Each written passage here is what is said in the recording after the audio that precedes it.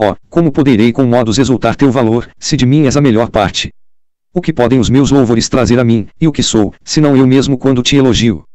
Mesmo aqui, deixem que vivamos divididos, e nosso doce amor perder seu nome, e por esta separação, eu lhe cause que graças a ti, tu a mereças sozinha.